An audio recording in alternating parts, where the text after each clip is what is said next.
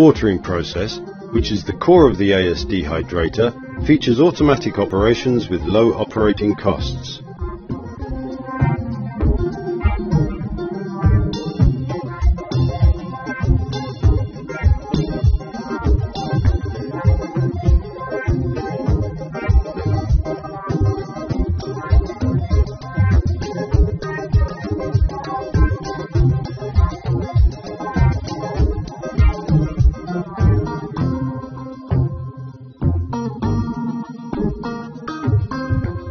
Dehydration functions.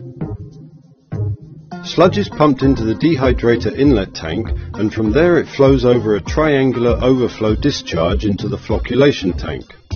Sludge quantities exceeding the equipment capacity are returned through the safety overflow.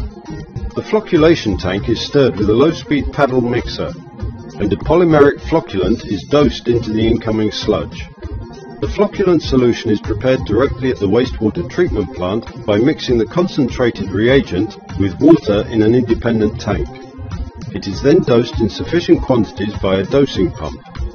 The reaction of the flocculant with the sludge causes clearly defined flakes to be formed in the dehydrator flocculation tank and subsequently brought into the dewatering drum.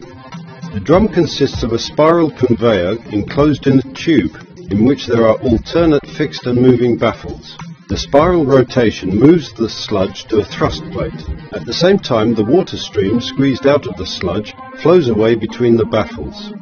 The filtrate, i.e. the water squeezed out of the sludge, is brought back to the wastewater treatment process while the dewatered sludge falls out at the drum end hopper and its dry matter is usually 20% as a solid mass.